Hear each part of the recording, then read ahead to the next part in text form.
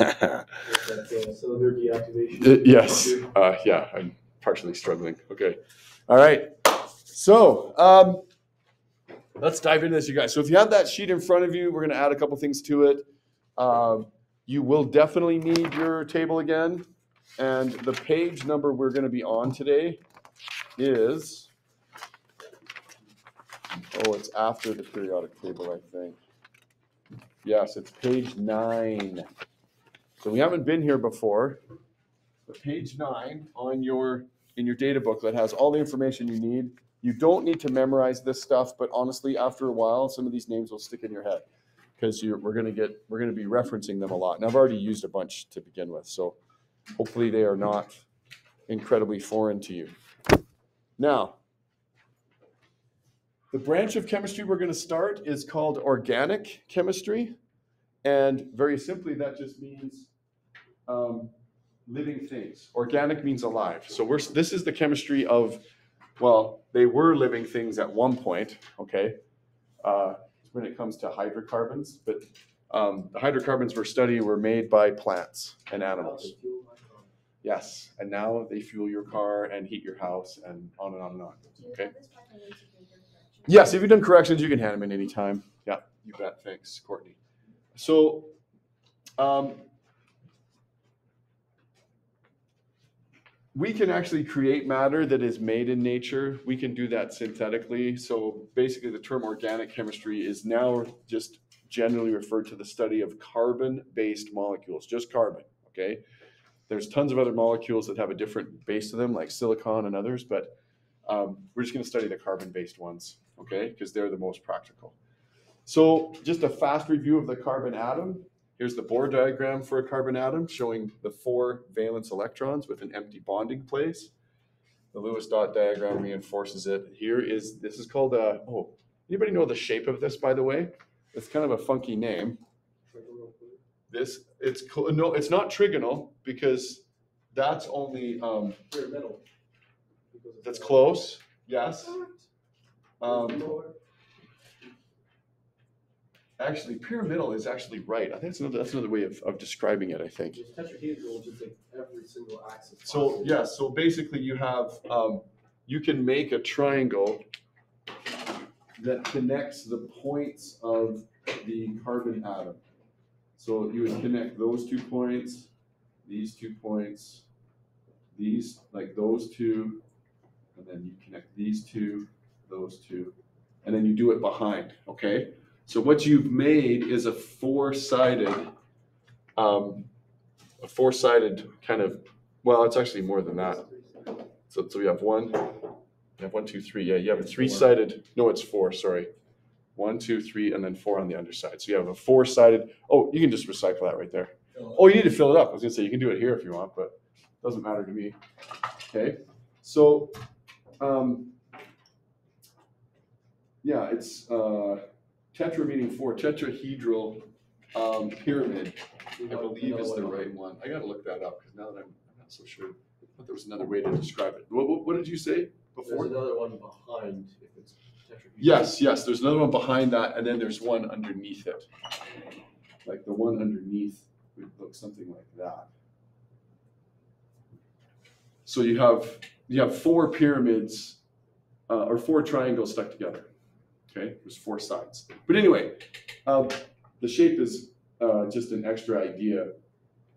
When we're talking about, um, bonding, or sort of making, um, uh, hydrocarbons, we just bond hydrogens to the carbon in a number of different ways and fill all the valence electrons. Okay, so this is what these gentlemen made for me yesterday. All these in front of you here are um, hydrocarbons.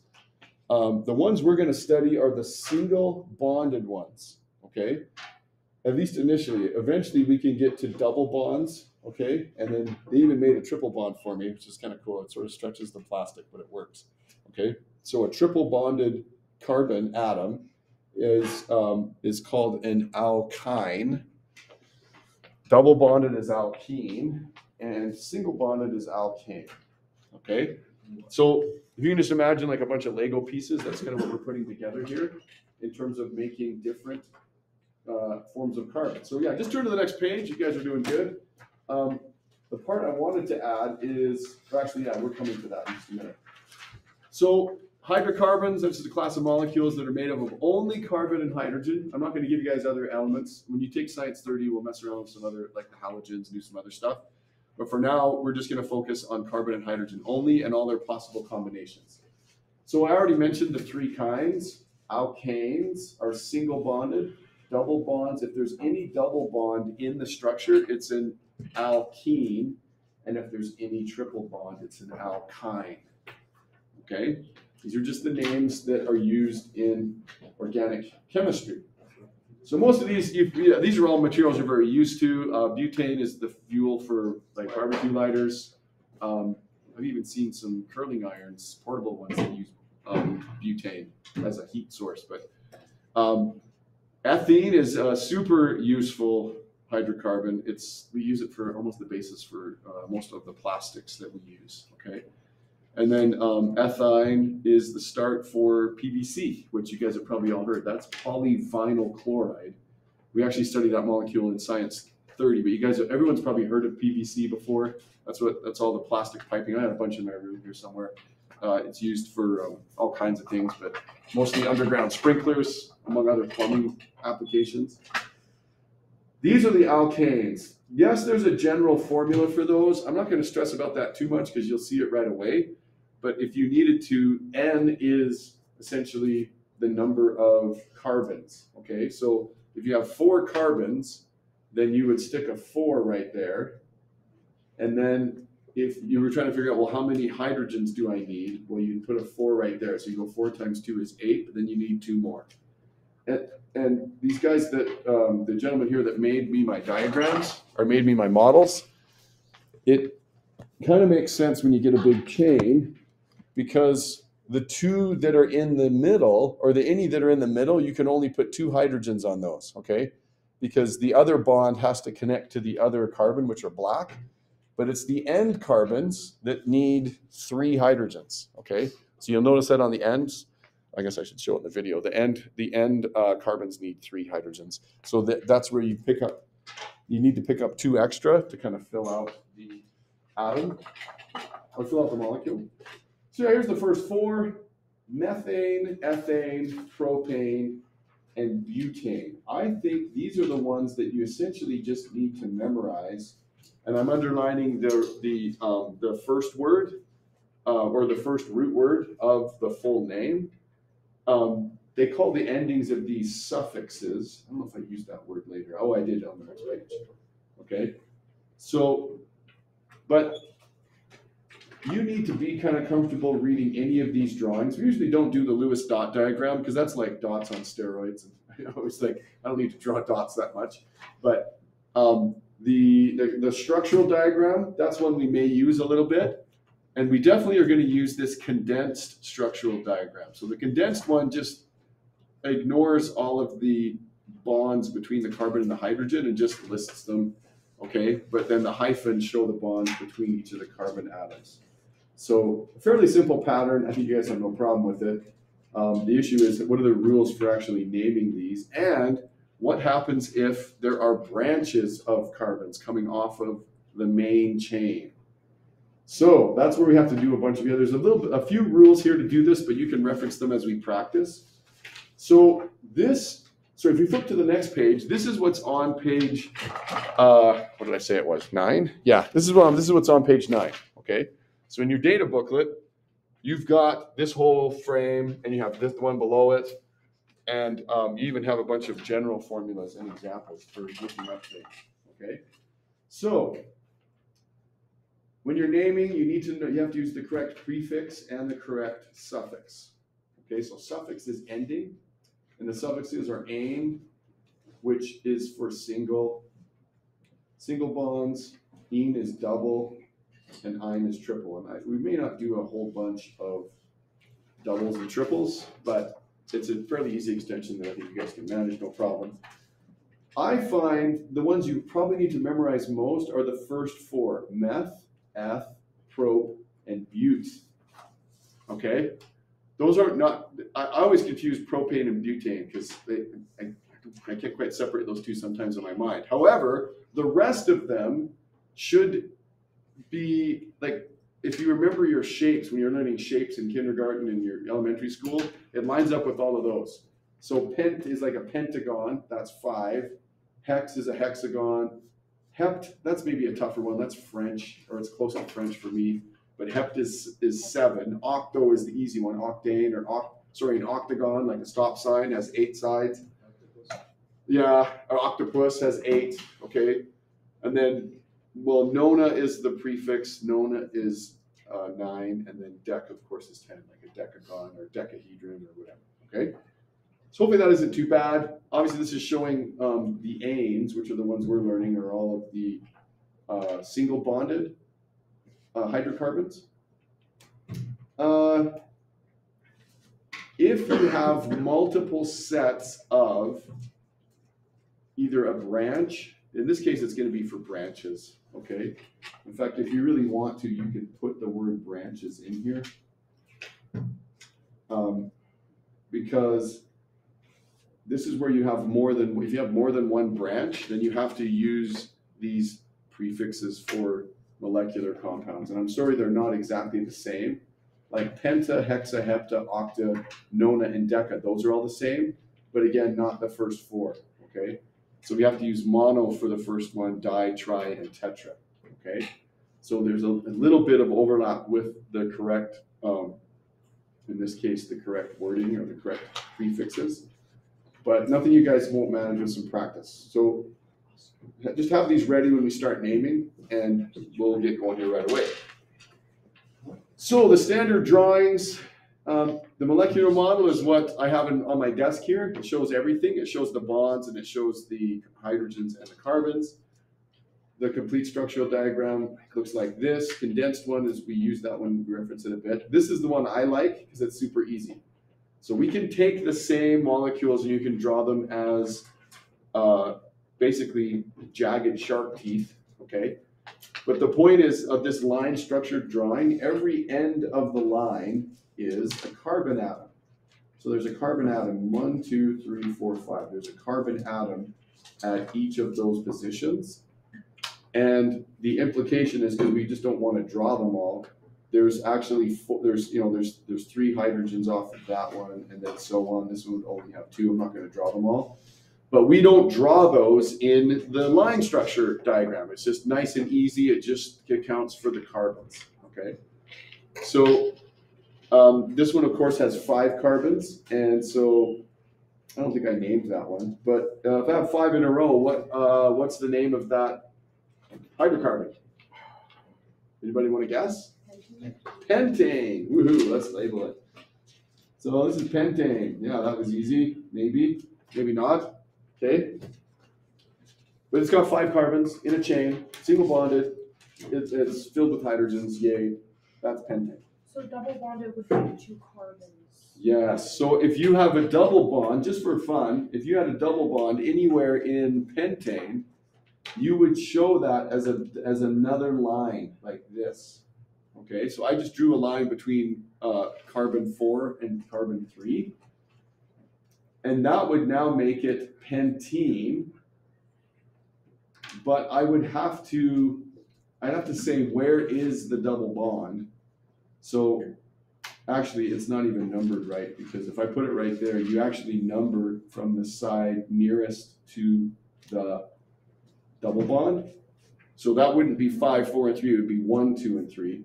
And so it actually starts on carbon number two, so I would say two hyphen pentene. Okay? So that, that tells me it's a double bond, and then the two says, where is it? How would Okay. you draw the complete structural diagram? Oh, for, well, for anyone of the, the complete structural diagram, you, all you would change is you would put a double bond right here, and then you would have to drop that H. Okay, oh, wait, no, you'd have to drop that H, you'd have to drop that H. So there'd just be, it'd be CH three, CH two, CH, double bond, CH, single bond, CH three. Hmm. Okay? You'll see that real quick when we start dropping hydrogens, because you do lose hydrogens when you make uh, double and triple bonds. All right. Okay, everybody good so far? You ready to start naming? All right, let's do this. So, what you need to be able to name for me are what we call branched alkanes. So these are gonna be alkanes, you know, that are simple, they're single bonded strings of carbons. Oh, so actually, yeah, we can show you like this. So these guys made some nice ones for me. What it would mean is I actually have a, so right, so this is, uh, what is this, butane? So this is one, two, three, four. What we would do is just remove a hydrogen, okay? And I would add a carbon like that, okay? So now I just made a, I just made a branched alkane. So how do we name this?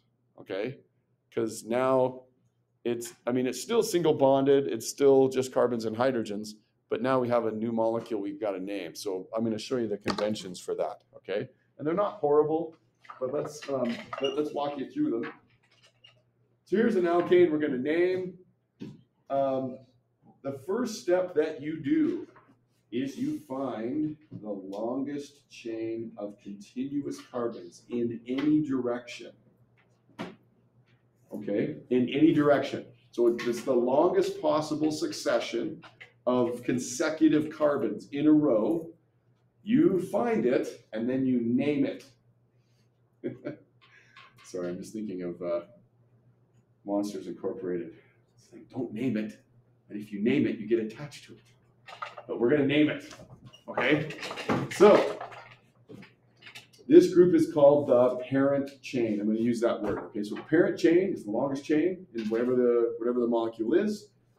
And in this case, it's pentane. So I got pentane again. It's already been done for you. But we circled the longest chain and we name it. Now you name the branches. And there's a little catch for this one. You name each branch off the parent chain. They're called alkyl groups. Um, that's just the, the general name for it. But the point is you name each branch with the correct prefix that corresponds to the number of carbons, but the ending is YL. Now, what do I mean by that? So if you just have um, the above branch is this would be all by itself, it would be methane, if that makes sense, okay? Because it's just a CH, well, it's actually not methane because it's not CH4, but it is one carbon. So the prefix would just be meth, okay? But because it's a branch, you add YL to it, okay? And then you pronounce it methyl, methyl, okay? So this guy is meth with, but because it's a branch, we say methyl. This guy has two carbons, so he would be eth, like ethane. Okay, ethane is eth would be two, but then you add. Sorry, I switched colors here. Then you just end it with YL. So I'm, I'm making the color distinction on purpose so you can see the, the naming. So this guy's name is Ethel. Sorry, don't name any guys Ethel. That's not a male name, but anyway, we just named this guy Ethel. Okay, but the pre, so, oh, sorry, you know what? So you can add these. You can have any. Uh, sorry, if it's one, it's methyl. Two is ethyl. Three is propyl. Four is butyl. And then on and on and on. That's probably enough, okay? Um, so methyl, ethyl, propyl, butyl. Okay? Is the pronunciation. Sorry, it's on it's on this page. Okay. Uh, it's like the third one. It looks like this is where we're at. Okay? so, that's your second step. First step, find the parent chain. Second step, name every branch. You could have you could have lots of branches, depends on the molecule. And then the last one, or second to last one, I guess we have two more. So then you number, this is one that's important too. You number the carbons in the parent chain from one end or the end of the carbon to the first carbon that has a branch. So it's basically you start numbering the carbons from the side of the molecule that is closest to the first branch, closest to the first branch. Okay? Um, this is so we can accurately communicate where the heck all these branches are on the molecule. Okay? So you associate them with the numbered carbon that they branch off of. Okay? So if we let's go up here and take a look at this take your parent chain. Where would you start numbering the parent chain? From this side or from this side? Okay, so you guys think that way. Yes. Because you, if you start numbering from here, you're going to hit a branch first. Here I'd go one, two, three. Uh, but this one I only go one, two, if that helps. So actually, this isn't here. Write it. So you get used to it. This would be one, two, three, four, five. That would be the correct numbering of the, the this pentane molecule.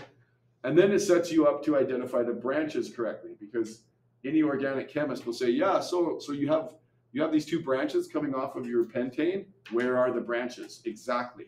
Well, in this case, this would be 2 methyl. Okay, so you put a 2 signifying which carbon that methyl is branching off of. And then the other one, of course, would be 3 ethyl. Okay, so 3 dash hyphen. So if you if you're basically when you have numbers, you should put a hyphen or a dash. Basically, it's a hyphen though. It's not a dash. It's a hyphen. It's a hyphen between the two and the no and the name. Okay. Uh, oh, it already said that in the notes. Sorry, I was jumping ahead. There it is. Two methyl and three ethyl. Fair enough. Okay. And then the last one, you have to account for the multiple branches of similar molecules that exist. So you might have two methyls or three methyls. Okay. And if you do, you would have to say, you'd have to put um, one of these prefixes in front. So if you had, for example, if you had two methyl branches, you would just write dimethyl. There's the example, okay? So if you had two um, uh, methyl branches, you have to use di. Finally, we get to the end. Now you put the whole name together, okay? So you list the branches first in alphabetical order, okay? So when I say alphabetical order, we're talking about all the possible, um, you know, is it meth, eth, propane, bute, pent, okay? So you have to list them in alphabetical order. And and and you end with the parent name. And so and that's it. Um, each branch with numbers, we would have done that already because I, I mean, I already showed you that. So hyphens go between letters and numbers. You, oh, if you have multiple numbers, you're supposed to put commas. I'll try and help you with that a little bit. There's some kind of um, specific ways to express this. And you basically don't put spaces between words, so you just it just runs together. Okay, so in the yes. Isn't it supposed to be printing, not printing? Oh, haha. They made a mistake here. I just copied it from them. So if we're naming that one up there, yeah, that's pentane. Thanks for catching that. Mistake number one. Yeah, that's supposed to be pentane. Good catch. So anyway, ethyl comes first, and so you'd say three ethyl, two methyl, pentane. It'd be the name of that molecule. Okay. So I know it's a tiny bit tedious, but I think you guys will see it right away. It, this is just the convention for naming these molecules. And so um, I kind of want to spend most of the rest of the period just slowly going through the next two pages, okay? Because this is one of the main skills I need you to be really good at in terms of I can just throw any molecule at you and can you name it, okay? So let's do, oh wait, this one's been done for you. Um, I guess we could walk through this solution and then and then turn you loose. So here's a classic one. Here's a here's a compound right here. There's a pile of carbons all stuck together. It looks like a mess. So first step is what? What do I do first? I find a parent chain. So maybe we might have a little debate here. Let's see where it is. So when you're counting, you're literally counting um, a continuous chain. So I could go one, two, three, four, five, six. I could go that way. Or I could go one, two, three, four, five, six, seven. Oh, snap. So where's the parent chain then? It's through seven. It's what I did in red. Okay. So uh, here, let me just clear that all off. Let me do it again, but like this. So this is the parent chain. Okay, and it's not always obvious. Take your time to like count the uh, number of continuous atoms, or sorry, continuous carbons. But now you can see the branches. There's a branch. There's a branch. There's a branch. Okay, so I guess I'm jumping the gun a little bit. We should name the parent chain. If there's seven in a row, that looks like heptane. Okay, that would be the parent. And I guess while I'm at it, I probably should number it. Um, where should, yeah, where should I start numbering from? Should I, should I start from here or should I start from here?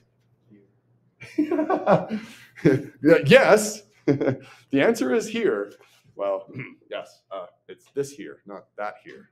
Here, here. So, okay, why? If you're when you're numbering the atoms in the parent chain, you need to number them so that you hit the first branch with the lowest number. Hit the first branch. So I'm going to hit a branch on number two here, but if I started counting from here, one, two, three, I have to go to four before I hit a branch. So that's just the convention again. So these things are three-dimensional objects. Like we can't just kind of um, loosely say, "Oh, well, this is how it is," because um, it matters where things are located. So there, there's my numbers. If it helps you, I numbered one through seven. So, and on um, on carbon number two, I have a branch, and this is just a single carbon, so it's going to be meth. But then, because it's a branch, I have to say methyl. And this one, of course, is the same. I think you guys will see this right away because you're going to do this a bunch. So there's there's a there's a methane or there's a methyl branch on carbon number three, and it looks like there's an ethyl branch on carbon number four. Okay. So I named the branches. Okay, so name name find the parent chain, name it, number it, find the branches, name them. I mean, I, I identified which carbon they're on. That's maybe a little extra, but that sort of sets me up to do the rest of it. Uh huh. Wait, this is supposed to be in alphabetical order? When I finally name it though at the end, like right now, I'm just I'm just labeling everything. I just yeah, do that yeah, first. But, But yeah, you're right. At the end, when you're actually going to write it, um, so we've done all these steps, didn't we? Where are we now? No, we did number two, we did number three, uh, we did number four. Now step five, place them in order. So don't include the prefixes. Um, oh, di. Oh yeah, don't include the prefixes di or tri when you're alphabetizing. Okay you really are using the main one. So I'm gonna definitely name, uh, I'm gonna name the, uh, the ethyl group first, okay? This guy's gonna be first, and then my methyls will be second, okay? So.